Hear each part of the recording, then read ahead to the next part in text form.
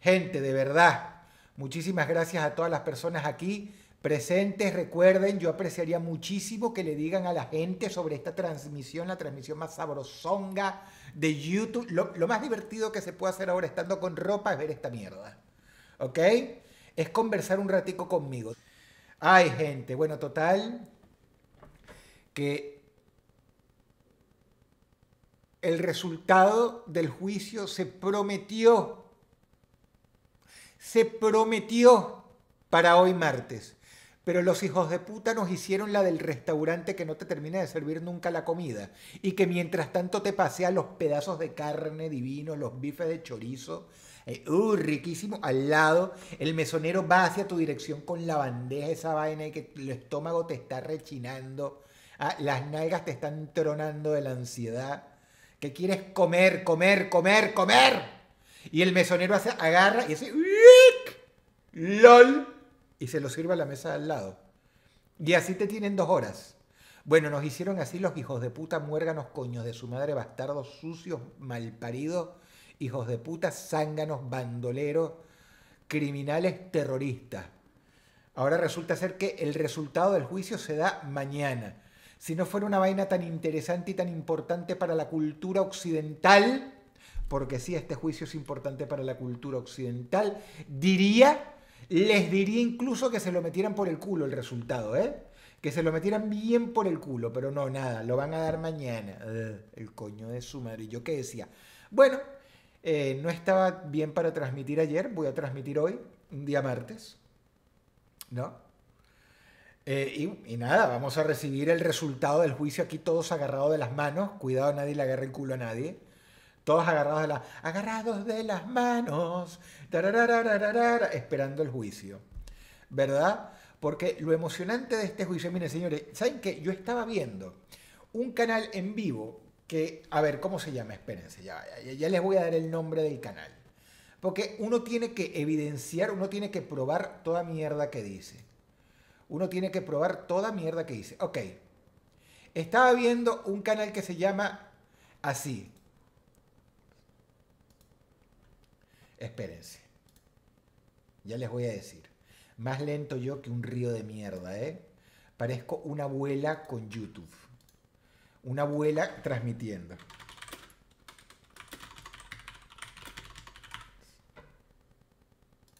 Ok, se llama así el canal, muy interesante. Ah, así se llama. No me atrevo a pronunciarlo porque es más difícil de pronunciar que mató un burro a pellizco. El que lo sepa pronunciar fácil, te felicito por tu inglés, agarra y métetelo por el culo. Porque siempre sale un cretino. Ay, Dios, pero, ay, pero yo te ayudo. Sepan que cada vez que alguien hace eso, ¿ah? que cada vez que un latino se queja de la pronunciación en inglés, yo todo lo que escucho cada vez que hablan son salivadas, escupitajos, gargajos y chupadas de verga. Con chela incluida así por toda la cara estilo bucaque de porno europeo duro, cochino, asqueroso, italiano. Bueno, total que estaba viendo, estaba viendo este canal The Behavioral Acts, que está dirigido por un tipo que es un actor profesional. Pero es más que un actor profesional, es una persona que es experta en leer gestos de la gente. No solamente es una autoridad mundial en leer actitudes, sentimientos, conductas a través de las posturas, miradas, caras de la gente. De hecho, hay una serie muy buena donde el protagonista es experto en esto. ¿Cómo se llama? Es el doctor House de este tema. Es muy, muy, muy buena esa serie. Bueno, ese señor, lie to me. Gracias, Neko, coño, Neko, el capitán del streaming. Neko, no has dado un carajo likes, pero ¿sabes qué? Te nombro el capitán del streaming. Lie to me. Bueno, el tipo es como el protagonista de Lie to me. Y él está de acuerdo, como muchas otras personas, hasta ahora psiquiatras, abogados, periodistas que toda su vida han visto juicios. Y finalmente este señor, el dueño de este canal, esta autoridad mundial, en todo lo anterior explicado, que Amber Heard es una mentirosa. Ahora encima me acordé de otra perlita que ella dijo que Johnny Depp le partió el labio y no se tomó una foto de eso. Se tomó foto ah, de, los ojitos morados, pero no del labio partido, ¿no? Y resulta ser que con ella es una experta en maquillaje. Además, Amber Heard. Bueno, una raya más para el tigre de las muchas que ella, ella acumuló durante el juicio. Johnny Depp no acumuló ni una. O sea que la cuestión está fácil, está transparente. Porque quienes apoyan todavía a Amber Heard no entienden ¿ah? que no se trata de que el mundo está a rebosar de misóginos o de fanboys y fangirls de Johnny Depp. Como si el 98% del mundo hace cinco años no le hubiera caído encima Johnny Depp, ¿no? ¿Eh? La gente que es así tiene que entender que todo lo que está cosechando Amber Heard ahora es porque ella se lo ganó, ella saca lo peor en la gente. Y saca lo peor en la gente no por accidente, sino porque la gente no es estúpida, la gente presta atención y presta atención al juicio.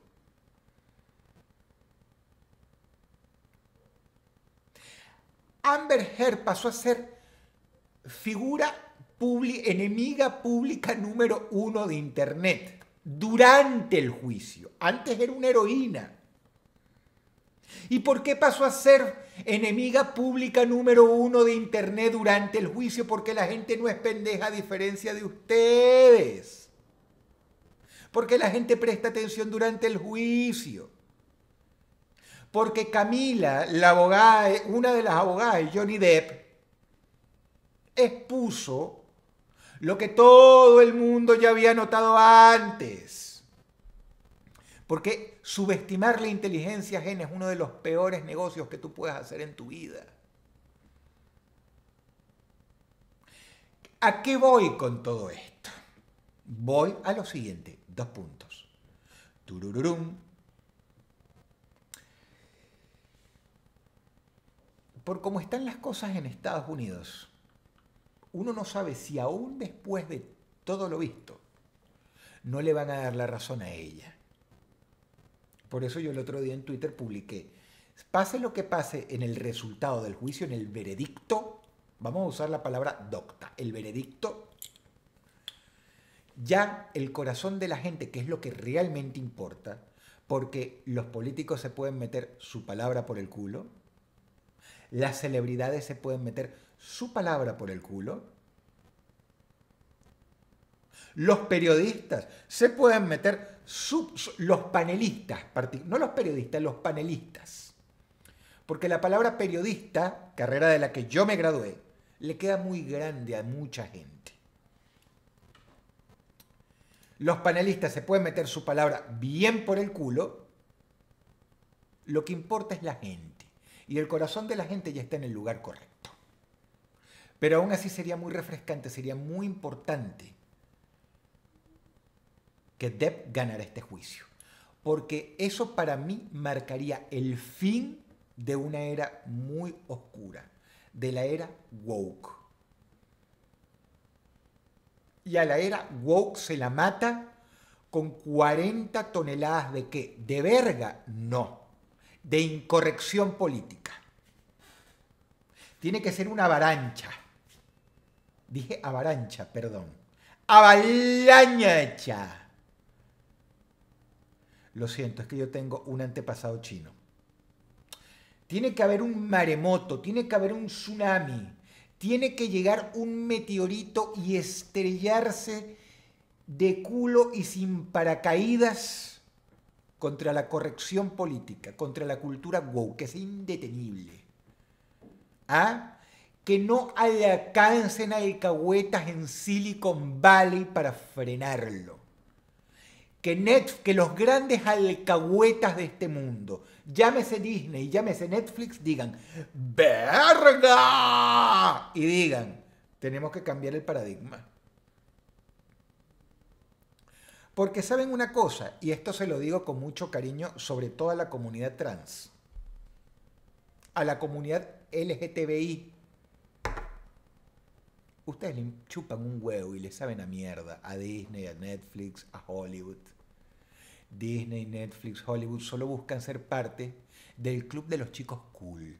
Y ellos creen que estar completamente abocados al lado de ustedes es ser parte del club de los chicos cool. Pero ya se está dando cuenta, incluso esa gente, que aunque ustedes merezcan respeto, es más, perdón, la palabra aunque está de más.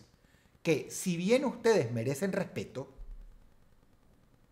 son minoría. Pero no es que son minoría, como, como el que sale en segundo lugar en las elecciones. No, son una minoría así. El otro día en Argentina hicieron un censo y la comunidad trans son 50.000 personas más o menos en un país de 47 millones. Y cuando eso salió, yo sentí que algo se resquebrajó. Es como si todas las personas que abogaron por ustedes, alguna vez, por lo menos aquí en Argentina, de repente hicieron, hmm, tanto esfuerzo para 50.000 personas cagadas. Y ojo, no lo digo yo denostándolo, los denostan ellos a ustedes. ¡Entiendan! Presten puta atención. No activen el culo, activen el cerebro. Oigan, escuchen. Les conviene. Se trata de una cuestión de valorarse. ¿Ok? No les importan en el fondo. Lo que ellos quieren es ser parte del club de los chicos cool. Y para ello los agarran ustedes, ¿no? Los sacan del sobre, les hacen así y se los encajan en la pija. Porque son el forro del momento. Y ustedes saben lo que uno hace con un condón después de usarlo. Véanse en ese espejito.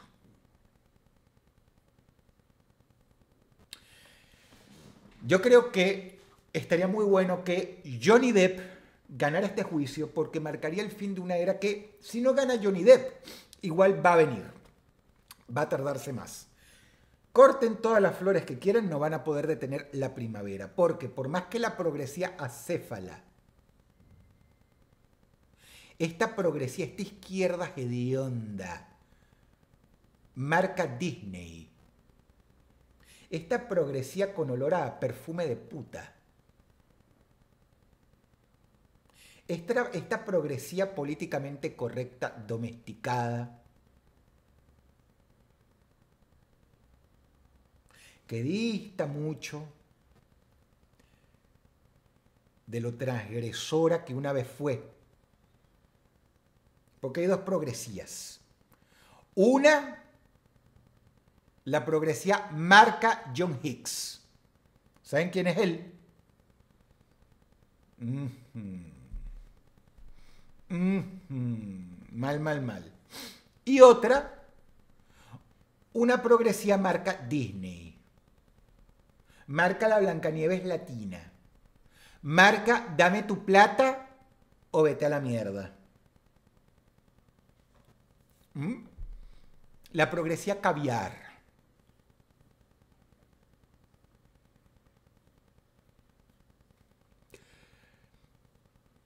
Y se va a terminar se va a terminar porque es insostenible, se va a terminar porque ya muchas casas cinematográficas perdieron demasiada plata.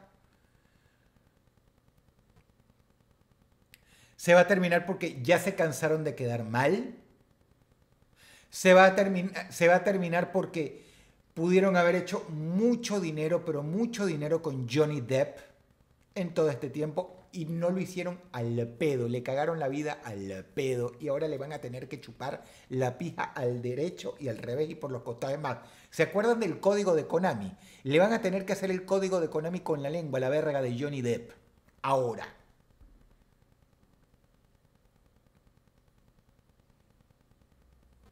Se está terminando, se está muriendo y se siente. Fíjense ustedes qué divertido que a pesar de que todos los poderosos alguna vez apoyaron esa progresía, berreta, barata, podrida, hedionda, falsa, utilitaria, sin alma, a pesar de tener esos aliados poderosos, de nada les sirvió cuando el corazón de la gente estaba en otro lugar, porque en el fondo, señores, ustedes los engañó la vida.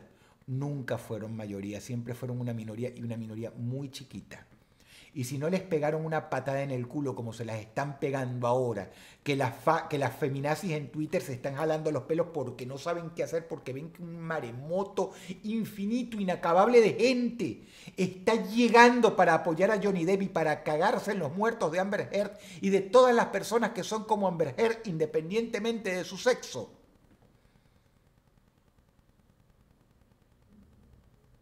Siempre fueron una minoría ínfima y vivieron de la paciencia de la mayoría, de la tolerancia de la mayoría, y esa tolerancia se está terminando.